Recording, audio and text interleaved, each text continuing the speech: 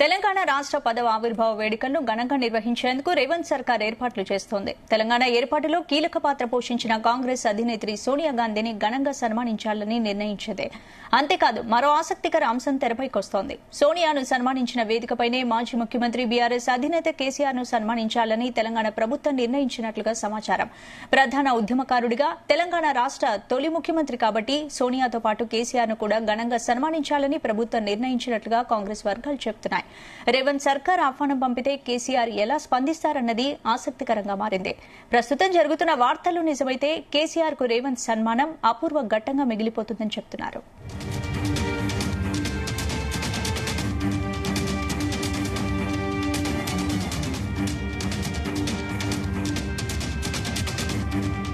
ఇక ఇదే అంశానికి సంబంధించి పూర్తి అప్డేట్స్ మా బ్యూరో చీఫ్ నరేందర్ అందిస్తారు. నరేందర్.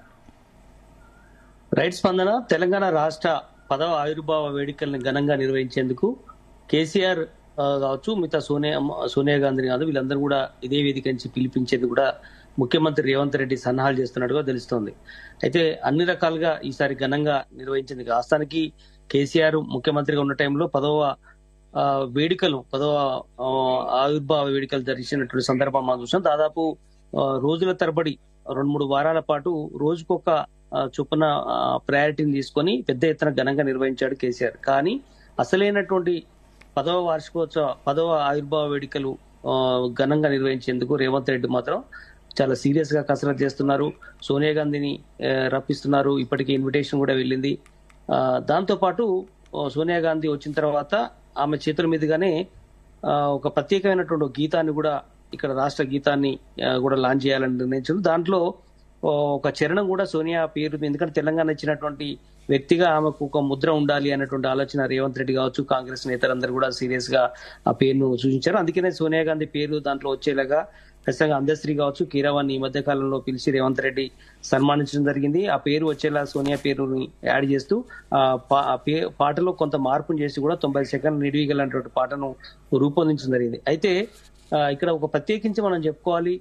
సోనియా గాంధీ కూడా ఎలాగో వస్తుంది కాబట్టి జూన్ రెండవ తేదీ నాడు ఈ ఆవిర్భావ వేడుకల్ని కేసీఆర్ని ఇన్వైట్ చేయాలన్నటువంటి ఆలోచన రేవంత్ రెడ్డి కావచ్చు ముఖ్య నేతలందరికీ కూడా వచ్చింది. అందుకనే ఆయనకు కూడా ఈసారి ఇన్విటేషన్ పంపించి ఒకే వేదిక నుంచి సోనియా గాంధీ తెలంగాణ ఇచ్చినటువంటి వ్యక్తిగా సోనియా గాంధీని అదేవిధంగా తొలి ముఖ్యమంత్రిగా కేసీఆర్ ప్రస్తుతం ఉన్నటువంటి రెండవ ముఖ్యమంత్రిగా రేవంత్ రెడ్డి వీళ్ళందరూ కూడా ఒకే వేదిక మీద ఉండేలాగా ప్లాన్ చేస్తున్నట్టు కూడా తెలుస్తోంది.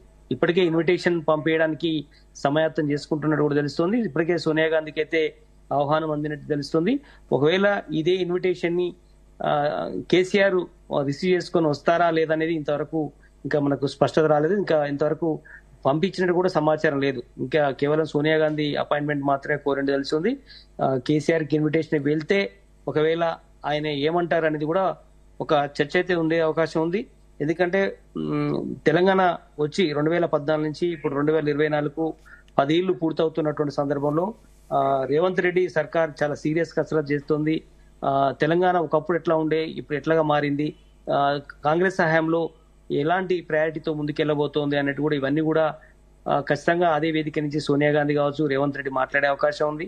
ఖచ్చితంగా ఇదే వేదిక నుంచి ఉద్యమకారులు సాహితీవేత్తలు అదేవిధంగా అమరవీరుల కుటుంబాలను కూడా సన్మానించాలని కూడా అందులోనూ సోనియా గాంధీ చేతుల మీదుగా సన్మానించాలి శాలువా కప్పాలి అని కూడా రేవంత్ రెడ్డి సూచించినట్టు తెలుస్తుంది. అందుకనే అన్ని రకాల ఏర్పాట్లు ఇప్పటి నుంచి అధికారులు అదేవిధంగా మంత్రులందరూ కూడా ఇదే పనిలో నిమగ్నమైనట్టు తెలుస్తోంది.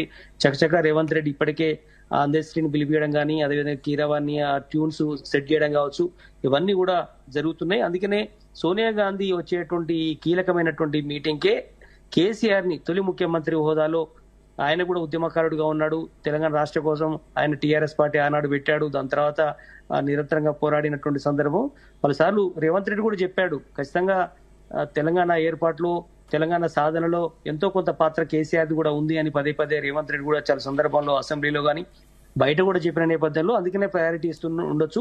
అందుకనే ఒకవేళ ఈయన ఇన్విటేషన్ పంపిస్తే కేసీఆర్ వస్తాడా రాడా అనేది కొంత చర్చనీయాంశం అయితే ఉండే అవకాశం ఇది ఒక అద్భుతమైనటువంటి ఒక వేదిక ఒక సన్నాహక ఒక మీటింగ్ అయితే ఇది ఒక అద్భుతమని చెప్పాలి.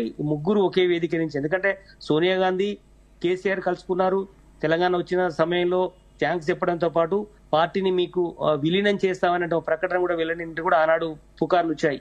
దాని తర్వాత సొంత పార్టీనే ఉండాలి అన్న తర్వాత నేనతో ఆ రోజు నుంచి ఈ రోజు వరకు కూడా సోనియా గాంధీ మళ్ళీ గెలవలేదు బట్ దాని తర్వాత అదే విధంగా మనం ఇంకో ఇంట్రెస్టింగ్ విషయం ఏంటంటే రేవంత్ రెడ్డి కేసీఆర్ కూడా పెద్దగా అసెంబ్లీలో కూడా ఎదురుపడలేదు. చాలా సందర్భంలో ఆ మైక్ కూడా ఇవ్వలేదు అనేటువంటి ఆలోచన కూడా ఉంది. ముఖ్యమంత్రి హోదాలో ఆ రోజు రేవంత్ రెడ్డి కేసీఆర్ దగ్గరికి వెళ్ళి హాస్పిటల్లో వెళ్ళి చూసి వచ్చాడు తప్ప మళ్ళీ ఎప్పుడు కూడా ఇద్దరు కూడా కలుసుకోలేదు కనుక ఈ ముగ్గురు కాంబినేషన్ అనేది ఒకే వేదిక నాడు జూన్ రెండు నాడు తెలంగాణ ఆవిర్భావ దినోత్సవం రోజు కలడం అనేది ఒక అద్భుత ఘట్టంగానే చూడాల్సిన అవసరం ఉంది. ఇది ఒక ఒక చరిత్రలో నిలిచిపోయే సన్నివేశంగా చూడాల్సిన అవసరం అయితే ఉంటుంది. సోదన.